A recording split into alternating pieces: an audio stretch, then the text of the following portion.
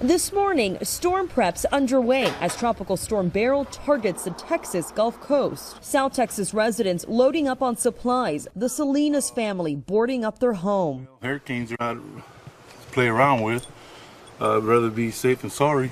The storm expected to intensify to a Category 1 hurricane, bringing dangerous storm surge as high as six feet in some parts. Anybody who's in a storm surge evacuation zone in this area, if you've been asked to leave by your local officials, you should please get out for flooding, gusty winds, and power outages. The storm's outer bands are already impacting the area, and officials are making it clear that people need to evacuate before it's too late. Officials urging residents and visitors to get out now. If you're moving, today's the day to move away from those areas. You don't want to be on the road tomorrow.